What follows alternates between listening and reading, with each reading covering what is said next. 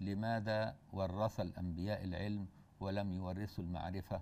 لأني يعني قلت في حلقة سابقة أن العلم أمور مكتسبة وأن العمل بها يقتضي إيه المعرفة في القلب.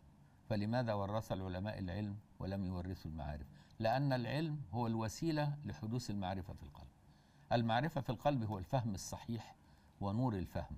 فالأنبياء ورثوا العلم لأنه منضبط العبارة يعتمد على نصوص وعبارات فجاءوا بالقرآن والسنة نصوص واضحة فمن خلال إعمال العقل فيها وفهمها على مقتضى الشرع الشريف والعمل بمقتضاها وإخلاص النية لله ربنا يكافئ بقى الإنسان بالمعرفة.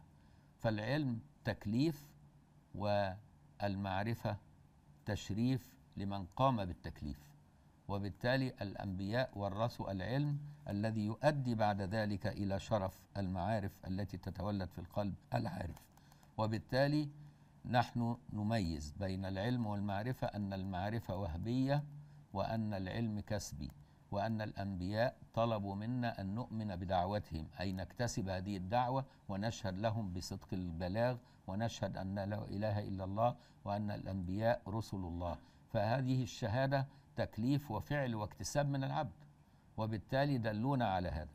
فإذا فعلنا على مقتضى هذه الشهادتين ركان الله ووهب لنا علما زائدا. من عمل بما علم أورثه الله علم ما لم يعلم. علم ما لم يعلم هنا اللي هو الحكمة.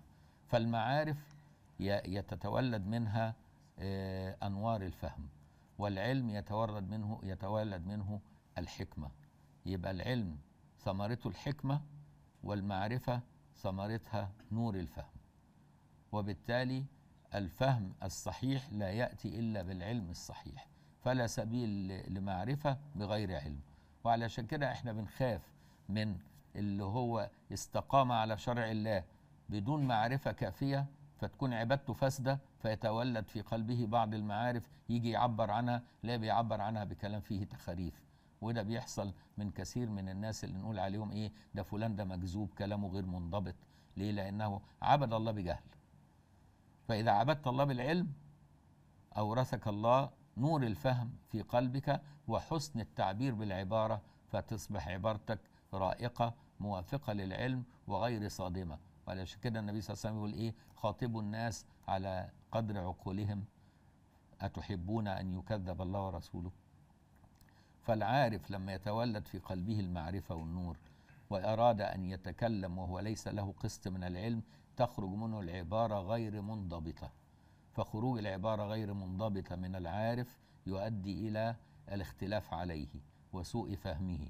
وقد يرجمه الناس حتى بالحجارة.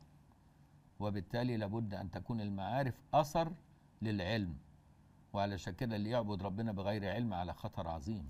فنسأل الله السلامة.